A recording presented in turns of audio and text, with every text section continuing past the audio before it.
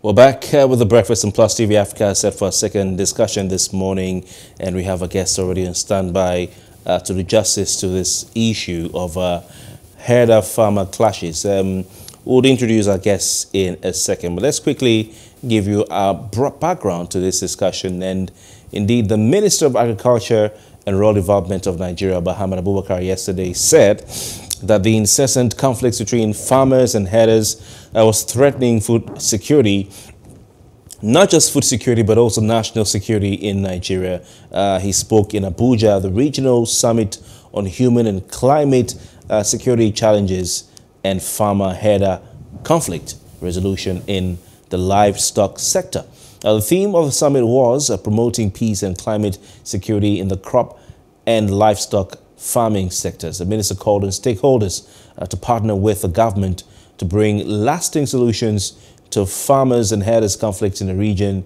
Uh, he also said the summit was aimed at providing an opportunity for dialogue and discourse between uh, the, uh, the, the sides and of course uh, on the way forward to achieving peaceful coexistence between both parties, that's farmers and herders. Now, the minister said the actors, the farmers and herders were the best to, to bring about a solution, a lasting solution uh, to the conflict. I'm glad to say we have uh, joining us this morning to do justice to this particular issue of farmer herder conflicts and the federal government's ideas as, um, uh, uh as, as announced by the Minister of Agriculture Rural Development and as to whether they can solve the problem.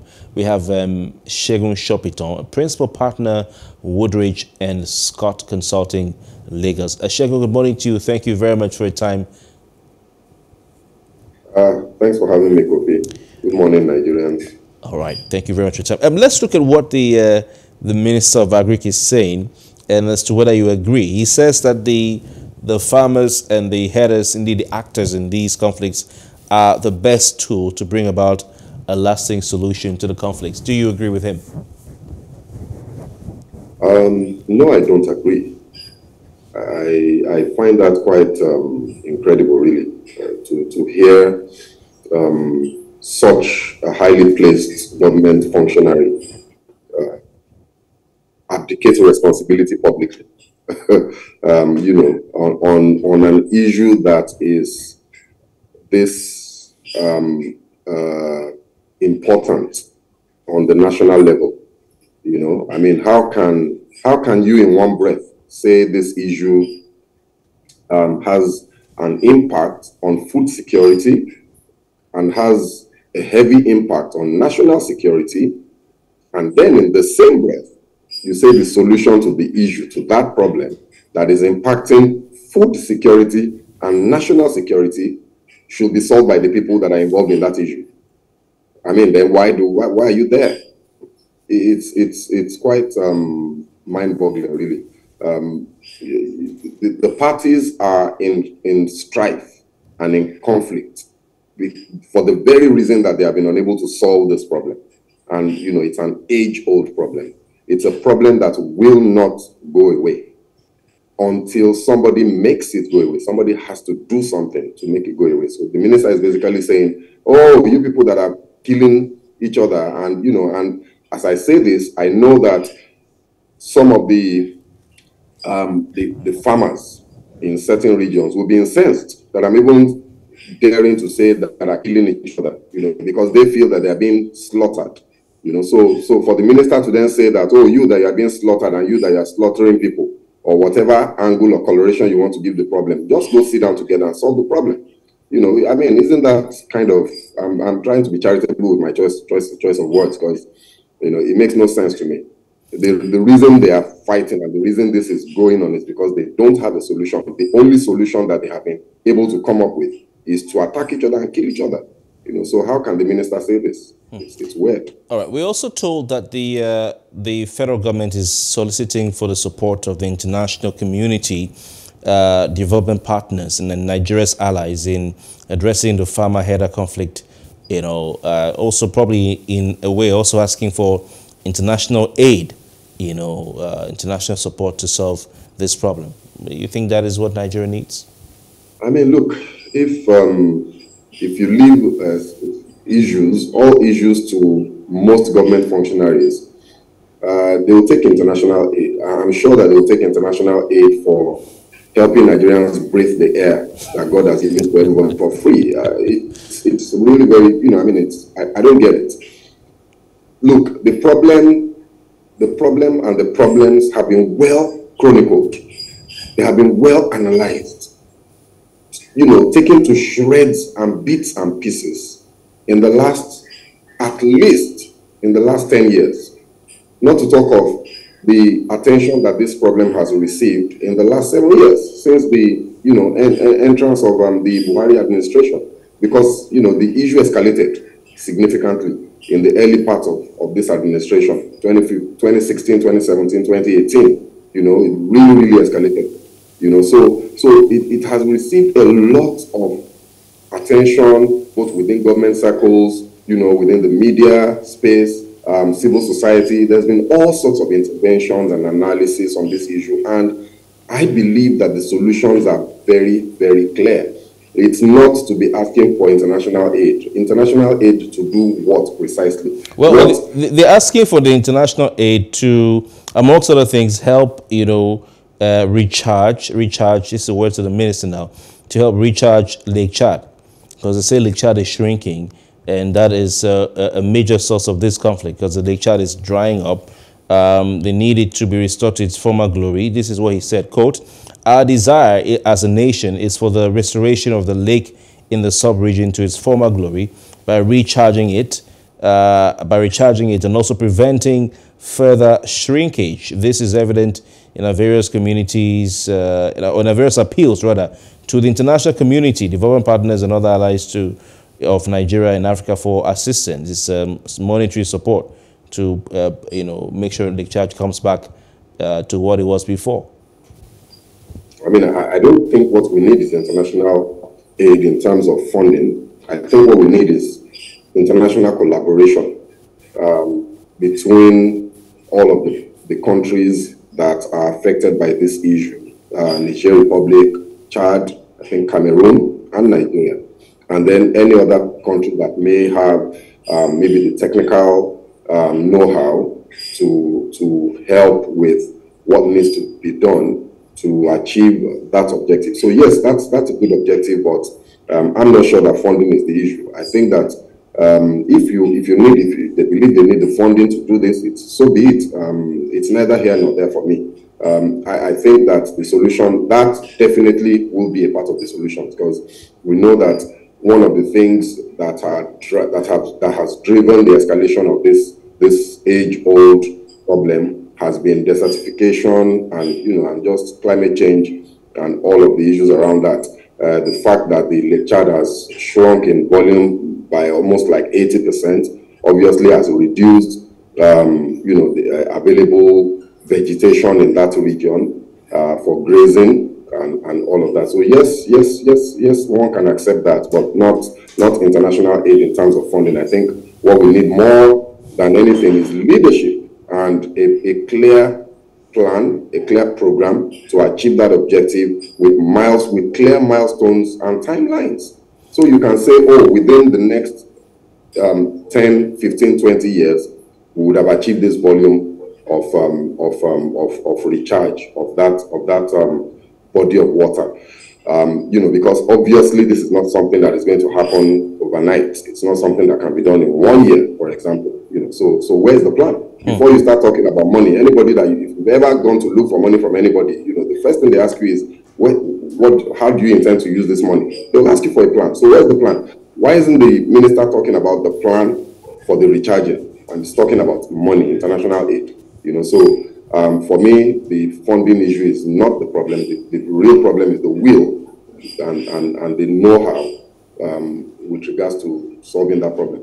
Mm. You um, know, yeah, yeah, this was a sort of a talk shop, you know, but also a way to see how they can, you know, resolve the conflicts. But um, like you've said, where is the plan? Because I'm wondering if the minister says, oh, we need international support to help uh, recharge Lake Chad and, and restore to its former glory uh, and know that uh, this is a big source of the conflict. You know, it's about uh, increasing population, increasing livestock, uh, you know, human beings, and diminishing arable and grazing lands in the northern part of the country, uh, industrialization, so a negative, so political influence and all that. Um, will these issues solve themselves if uh, we just say, so these are the problems, so, or will the international community, international aid flow to Nigeria by just merely saying, oh, we need it? Um, don't doesn't he need to, don't they need to do something? I think this is what you're saying. They need to start working towards it. Um, uh, if it's desertification, what are they doing to to fight desertification? And then you know that I think that's what you're saying. Absolutely. I mean, I, I read a book um, uh, recently about um, the, the, the, some parts of China. You know, this des desertification thing is not is not unique to, to Nigeria to Africa. Um, other regions of the world have, have faced this, and not just now, but in the past. And you know, um, a province in China actually went about. There's something they call the Green Wall. You know, they they they, they went about. Um, uh, they went over a 30-year program to revegetate an entire province province in in China. Um, I, I, think between uh, something like 1970 uh, thereabouts, you know, you, you visit that same region today, and you think that you are you are you are you are you are in a forest, you know, and that place was a desert 30 years ago. There was a very very clear um, plan that resulted in that, and and the reason they did that was um, uh, as, as, a, as, a, as a wealth creation strategy, as a poverty alleviation and wealth creation strategy. They realized that um, a lot of the resources that the people in that region required was not available because of desert, desertification and loss of vegetation. And then they went about a very careful program of, of, of revegetating and, uh, you know, reforesting those places. And, and today, you know, that plan has been implemented. You know, so that's that's what we need to see from the Nigerian government. Like, where is the coherent, very well thought through, very well structured, implementable plan to solving the farmer herder crisis? It's not just about talking. It's not about um, you know sound bites that we receive every now and then, especially when there's a new incident somewhere. Then somebody in government will come up and, and say a few nice sounding to them things um, it's about sitting down and, you know, orchestrating a, a plan, a, a, very well put together plan over a, a, an achievable timeline to, right. to solve this problem. This problem is not intractable. We just need somebody to sit down and put a plan together and implement it. All right. Uh, uh I mean, it, it, seems for to me the, the minister and uh, he's uh, Minister of Agriculture and Rural Development is just saying these are the problems. These are the problems. We need to do this. We need to do that. But you are in government, so you are the one to do it. So why you say we need to uh, develop arable lands? We need to fight desertification. We need to recharge the lake. When you are in government, it's your duty to to solve these problems. So why are you telling us? Uh, we, just the last question before you go. A lot of the farmers have been sacked from their farms those who have not been sacked are afraid to go to the farm because of these conflicts. Um, some whole, some, in some cases, whole villages have been sacked. They've driven the villagers away and taken over uh, the land. So those who are still there, they wake up in the morning and their crops have been eaten by cows. Um, uh, what can be done in the short term to medium term to solve Nigeria's food insecurity, which is already staring us in the face because of this uh, crisis, apart from even the floods? uh, that uh, has uh, just recently ended? To be honest with you, Kofi, you know, we've, we've had this conversation a number of times on different platforms, and I, I tell you, um, there are no short-term fixes for food food insecurity. Um, because you know you don't manufacture these things, you don't manufacture rice, you don't manufacture um, um, yams, you don't manufacture tomatoes. You grow them and they have a gestation period. That some of them it's six months, some is one year. You know, there's some some is an annual cycle, some have um, a, a, a, biannual cycle where you can have to harvest in a year. You know, so uh, for some other types of crops, it's four cycles in a year.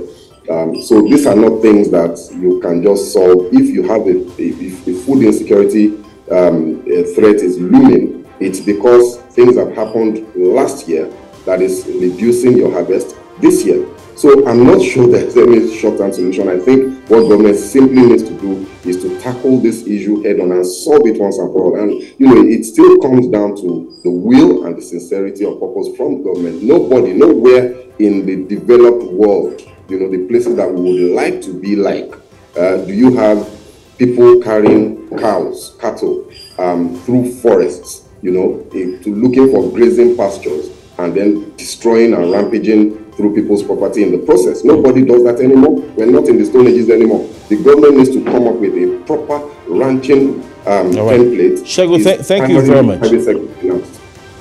All right, thank you very much. I was just prompted by uh, producers that we, we have to go, so sorry to interject there. Uh, really appreciate your time and, of course, your expert analysis as always. Thank you for having me. All right, thank you very much. And that has been uh, Segun Sopitan, Principal Partner Woodbridge, or Woodridge rather, and Scott Consulting Lagos. And uh, that's the size of our package. I hope you enjoyed the show. And please be reminded you can follow us on social media. Search for Plus TV Africa on Facebook, Twitter, Instagram, and YouTube. We also have our second YouTube account, Plus TV Africa Lifestyle. From all of us here at the studios in Victoria Island, Lagos, my name is Kofi Bartels. See you tomorrow.